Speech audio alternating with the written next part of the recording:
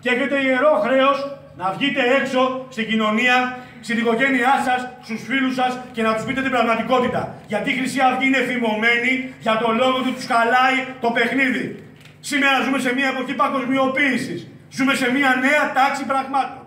Καταργούνται σύνορα, καταργούνται θρησκείες, καταργούνται αρχές.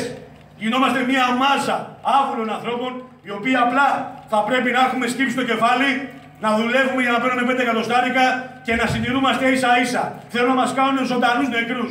Θέλουν να μας κάνουν ζώπη. Και από εκεί και πέρα πρέπει να υπάρξει η αντίδρασή μας. Πρέπει να πούμε ότι όχι, θα παραμείνουμε ελεύθεροι άνθρωποι, χριστιανοί, ορθόδοξοι, Έλληνε πατριώτε